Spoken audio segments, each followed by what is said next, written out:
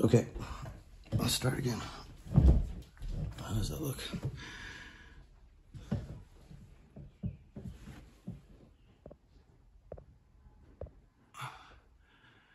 Okay, so. Okay, so what up, y'all? It's Mikey from Canada Riot Balls. Uh, we're gonna do a really quick uh, video today on how to uh, shim the uh, sear of the M17.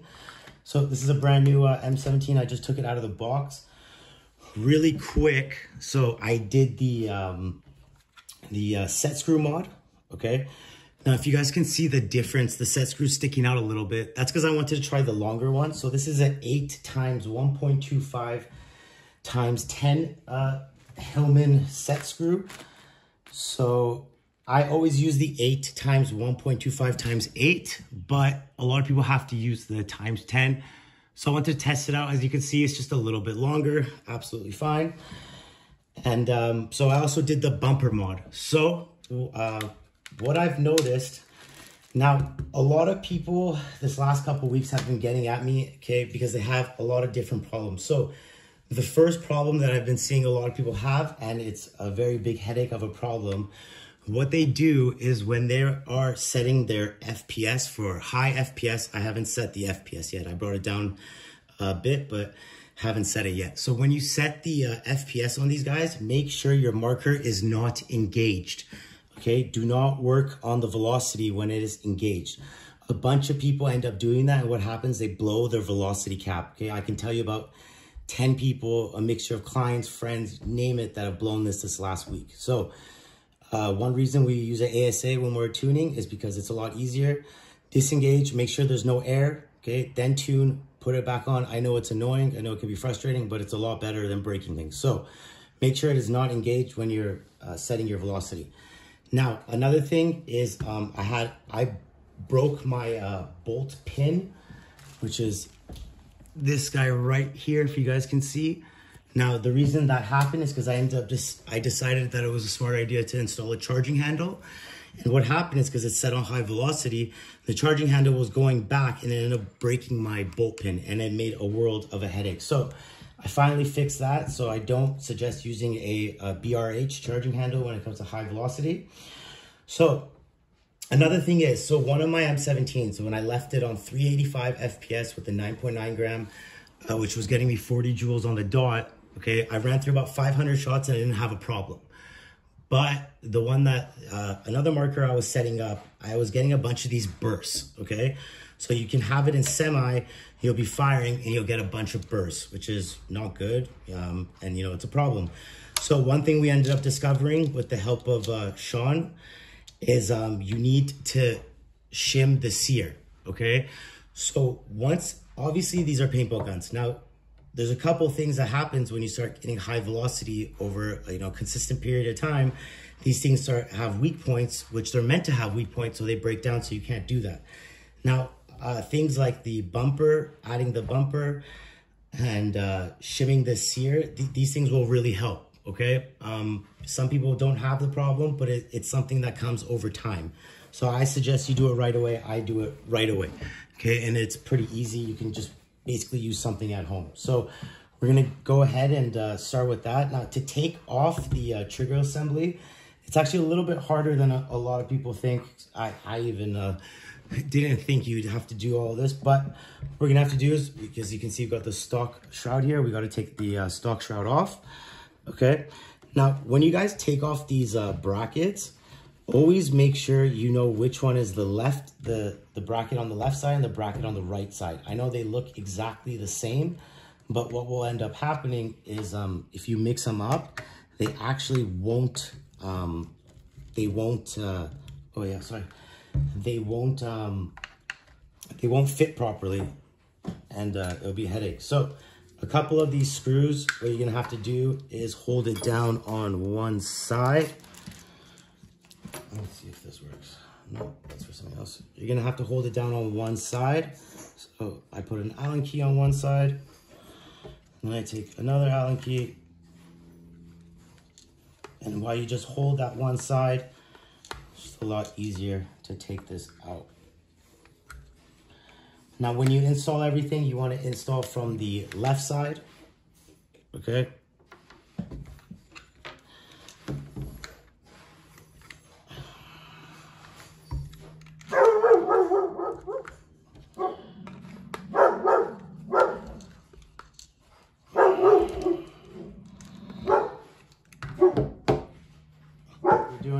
Doing. Off with the Magwell. Now these two last uh, screws you got to take out.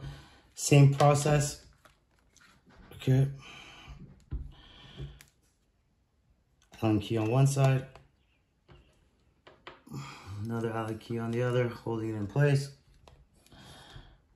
Oh, it's this Allen key. That's why this thing is the garbage one that strips everything.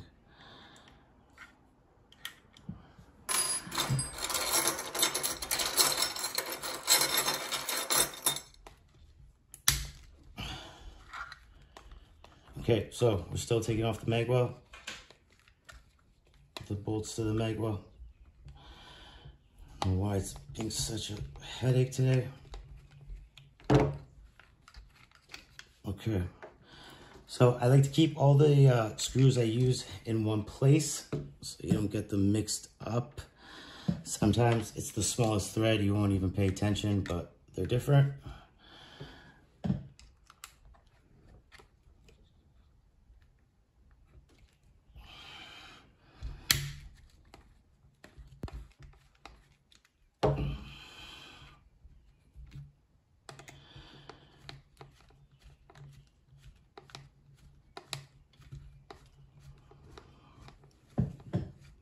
Okay, so that's out. That's out. Okay, so Magwell is officially out. Now, a lot of times you don't have to take off the shroud, but just to make it easier, I'm just gonna make these loose. I'm gonna be switching up the shroud anyways. I use a uh, MCS Grizzon shroud. Um, it's definitely my favorite there's a, a lot of uh, options out there, but um, it's uh, it's it's my favorite. I like I like using metal stuff. I really don't like. Uh, I try to stay away from anything plastic. It's just my personal preference, especially when you're using these markers on uh, FPS. You know, rather use something that's more reliable. Okay, so uh, like I said earlier, these brackets, they look identical, but you want to keep the left to the left and the right to the right. So we're going to take off our stock shroud, put it over there. Now, Magwell just slips off. Okay, after you take everything off, just slips off. I'm going to put it to the side. Now, this is our right bracket. So I'm going to keep it to the right. This is our left bracket. I'm going to keep it to the left. So magwell off. Now we got to take out the trigger housing itself. First thing is the uh, bolt with the with the ring on it. So like most of the other ones, hold one side, take it out. It goes there.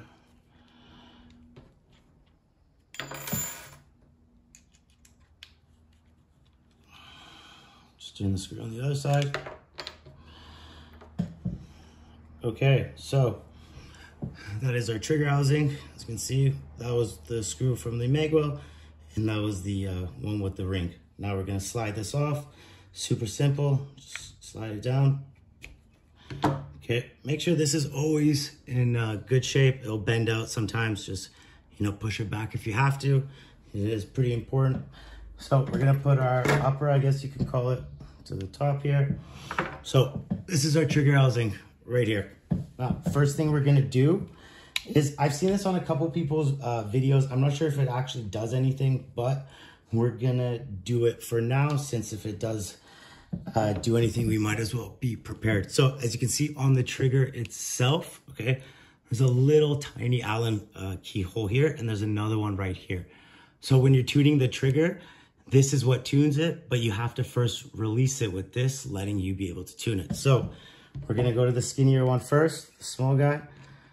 I'm gonna go counterclockwise a couple times till it basically becomes flush with the uh, with the trigger itself. Now, I, if you are going to tune your trigger, I suggest you do it uh, while your marker is gassed up. If you have any problems, uh, make it tighter. So you don't usually have to do it on semi, but I don't use full auto.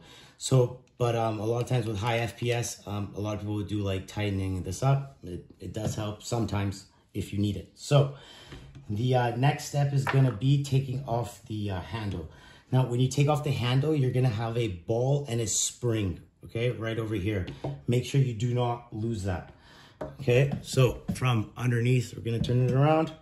Here's our Allen key. This one was kind of hard to find the right size. I think it's either a uh, three, three millimeter Allen key. I'm not 100%, but it was kind of tricky to find. So counterclockwise, we're going to take off our handle. Uh, like I said, there's going to be a spring and a ball that pop out right here. And you guys can, if you guys can see, I always keep my uh, trigger on um, on semi when I'm tuning, just because I've noticed that if you have it on safety, there could be some problems. Okay, so I'll finish getting this guy out. Really? Okay.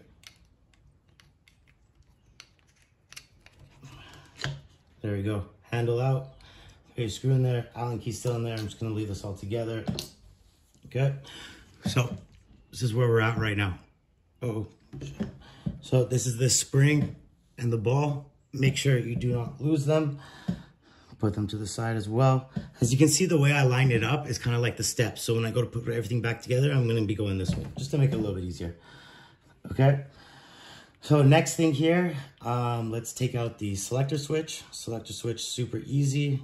Like I said, hold down this side, get your Allen key for the other side. There's a little screw in the middle of the uh, selector switch. And you use your Allen key. Oh, it's too big.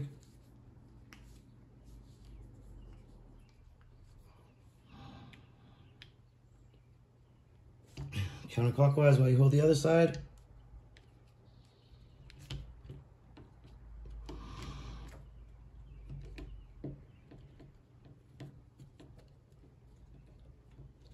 Okay, now the selector switch comes out.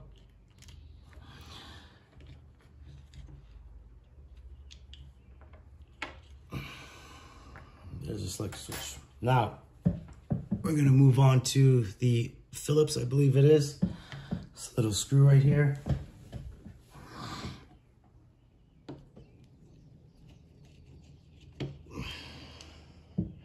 Okay, so that's it. That's your uh, trigger assembly, what you're gonna do, just give it a little bit of force and it comes off like that. So this is our trigger assembly. So zoom in a bit on this guy.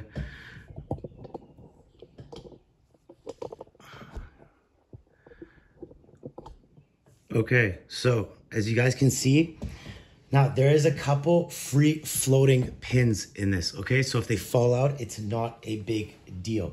So this guy and this guy, these two pins right here, they're free floating, okay? They will fall out. It's not a big deal. You just put them back in place and that's it. This is also free floating, okay? It's gonna fall out, same as this. So this is your sear right here. You guys can see that properly. This is your sear right here. This is the spring that we wanna shim. So first thing I always do is take this guy out like that, simple. Okay, what you're gonna do, so see how you guys can see this. You're gonna put, what I like to do is I like to put my hand on the spring so it doesn't just, you know, uh, kind of whip out. You just gotta push it up. Okay, so this is our sear. This is what we're gonna be shimming. Well, it's the spring that we're gonna be shimming. And this is our spring. Sorry, guys.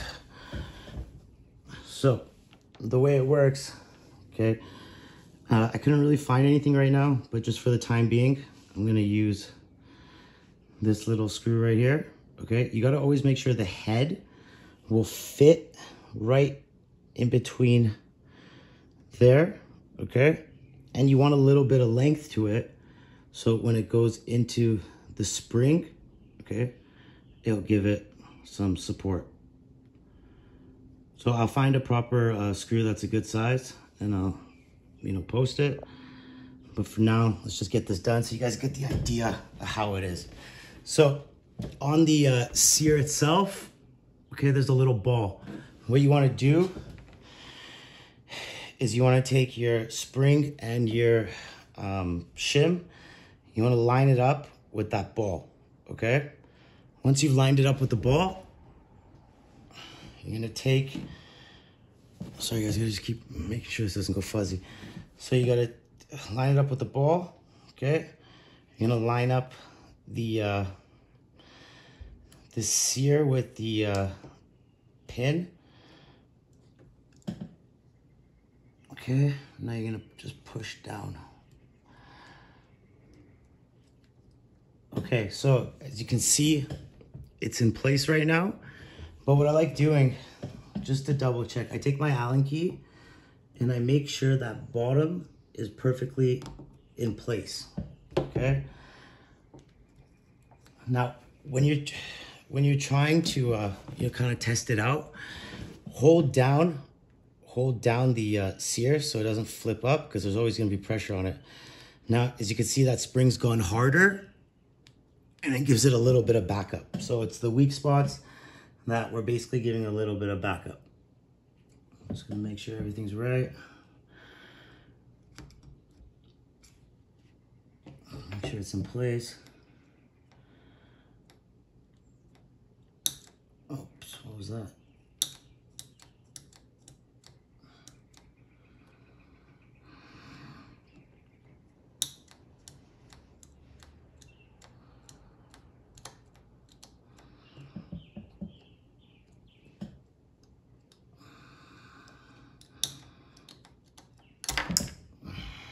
Yeah, definitely wasn't in place well.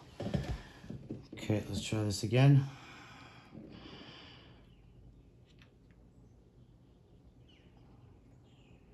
So line it up with the ball.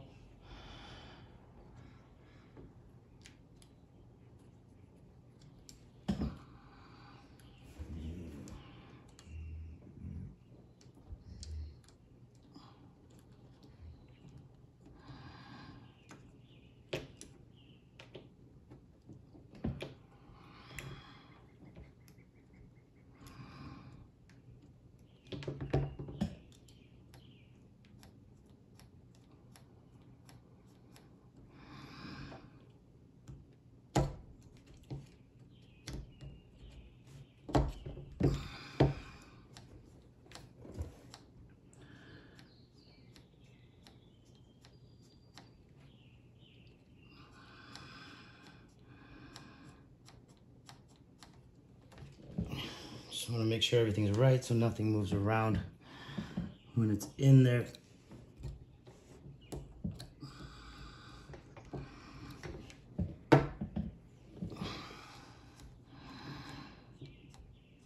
Okay, so as you can see, we got the shim in there.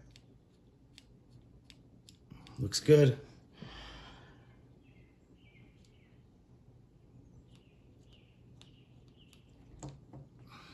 It's always want to make sure that bottom is in place.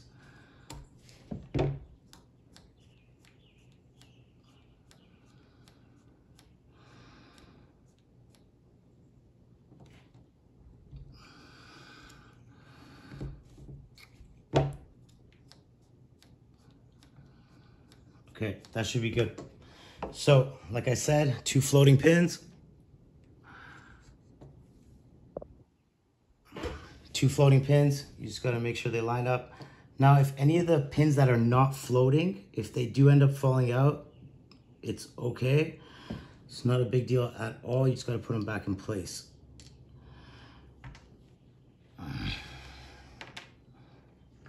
Okay, so you'll see a little spot where they go. Just I put the bottom one in first. Then, come on, man. What's going on today? So I'm gonna put in the bottom one. And then the top one. Okay, then we got the other floating little bolt. We're gonna put that where it goes right here. I honestly taught myself this, you guys, off a picture. Okay, so it's really, it looks a little bit more confusing than it is, but it's really not.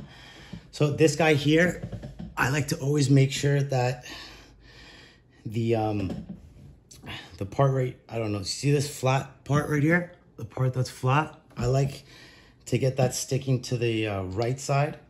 So I line it up just like that. I'm not sure if that makes any difference, but that's how I like doing it. So if you can take a good look at that right there, that's basically it. So let's put this back together. We're gonna take the other half we just took off. Okay, gonna line it up. Basically the hole goes over the uh, selector switch.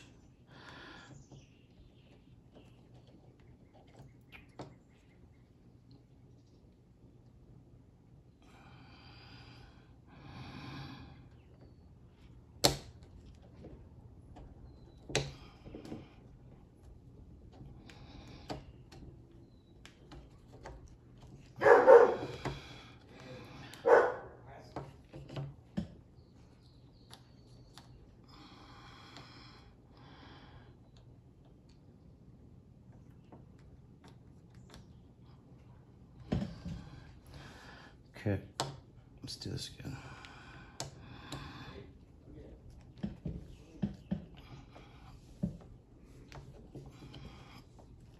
What's going on?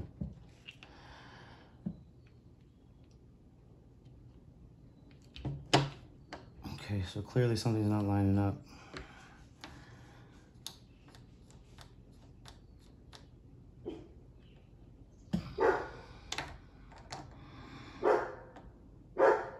Oh, maybe the floating pins? Yeah, that's what I think it is.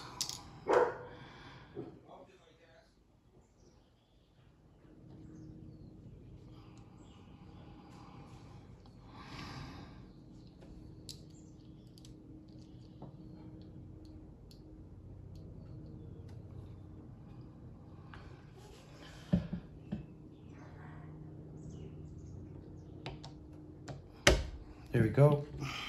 Give it a little bit of force. Make sure everything's lined up. Okay. I'm gonna start with our screw that we took out here. This guy back in.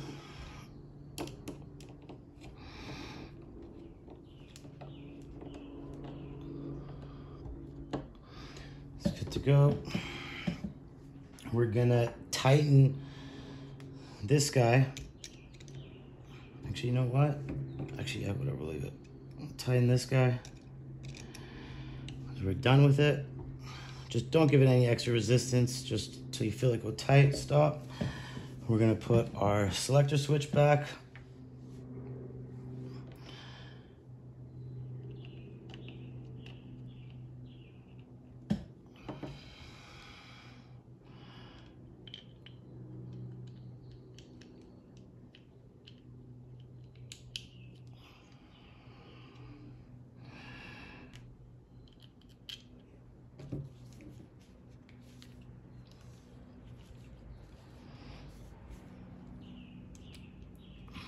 Tighten it up.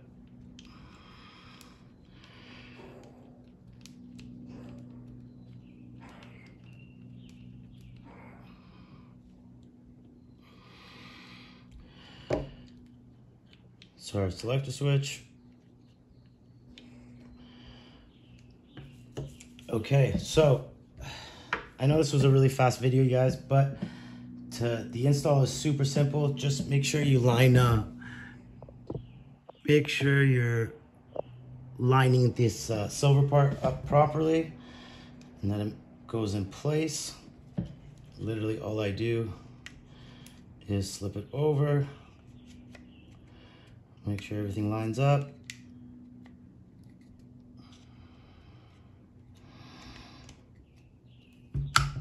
There you go, just like that. Okay, now after you've done that, you're gonna put your magwell on and your shroud. And that's absolutely it, you guys. So, hope this video helped. Uh, definitely helped me. If you have any bursts or just want some longevity with your M17, definitely the way to go.